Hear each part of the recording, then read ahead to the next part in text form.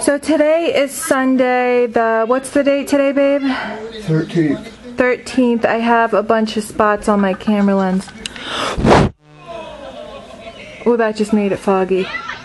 Because I always forget to close it. Darn it. Oh, that looks much better. So you see the mess that my son has made over there. That's baby Asher.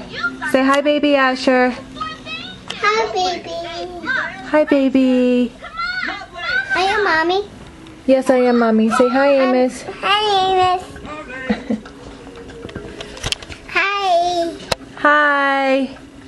Hi, okay. Okay, go play with your toys. Mommy gonna do something. So I just wanted to do a brief vlog on um, day...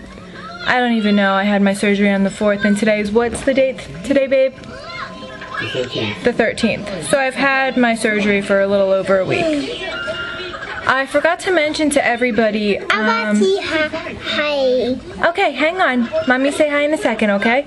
I forgot to mention to everyone that um, after breast surgery, you like retain a lot of fluid. Like right now, I look kind of swollen. In my past vlogs, I've looked swollen and I totally forgot to mention that.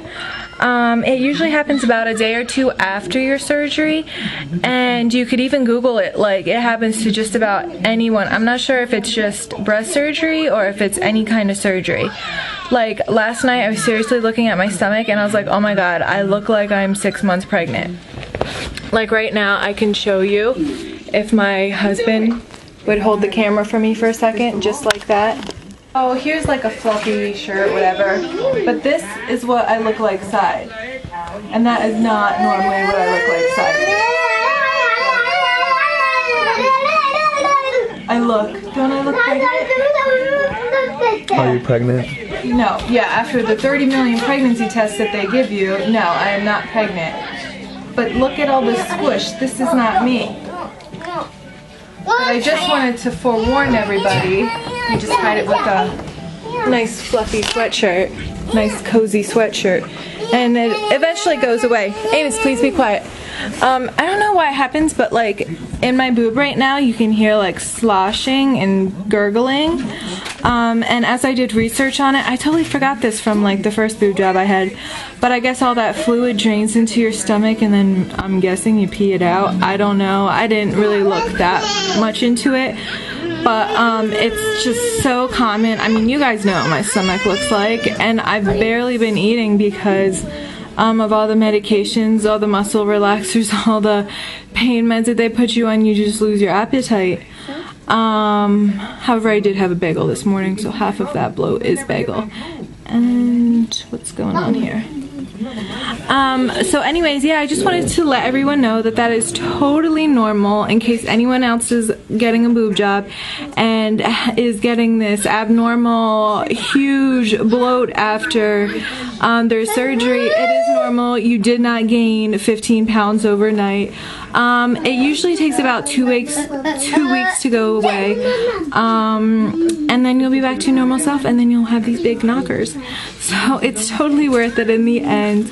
Other than that, I am having um, a little bit more pain, like um, up here. Like, ooh, I can't even feel it. That's like numb. Here, I'll show.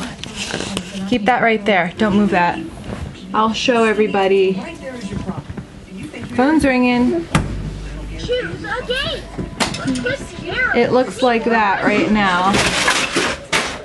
This is the bad boob, this is the good boob, or this is the resurgery boob. So they look fairly good other than the stomach bloat. Stomach oh, I'll be right back. Oh, that helps bring down swelling. Right. Okay, so anyways, that was my doctor on the phone, so.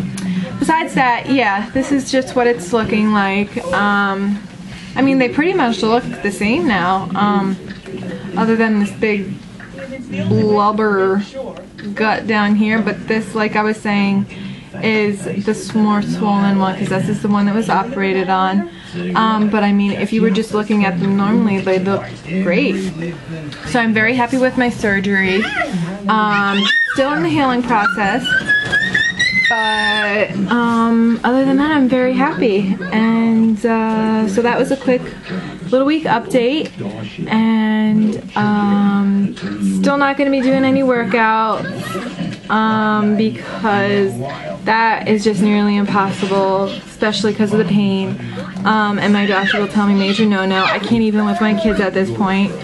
Um, but other than that, I'll give you another update in a couple days. And uh, sorry for not wearing makeup because I know it's quite scary. Anyways, see you later. Bye bye.